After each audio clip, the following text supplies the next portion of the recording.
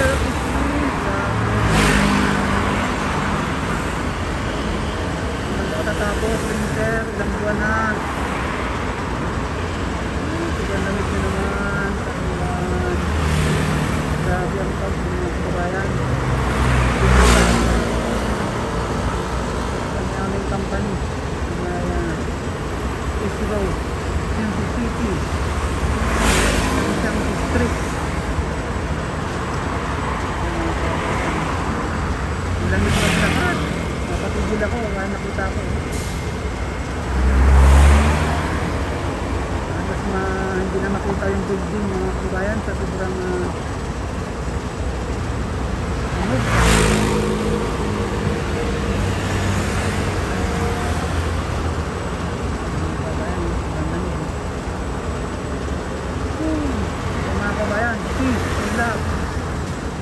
Peace out mga kabayan.